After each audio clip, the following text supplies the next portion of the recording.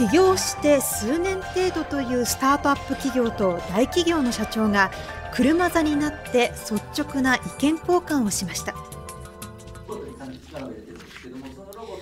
このイベントは経済産業省の支援プログラムの対象企業と経済同友会に加盟する大企業の社長が交流を深めようと意見交換の場が設けられたものです。